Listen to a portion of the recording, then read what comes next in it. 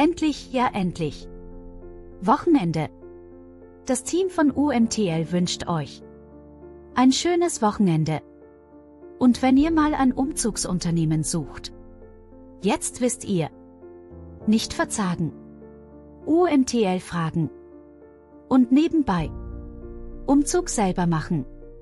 Oder durch UMTL machen lassen.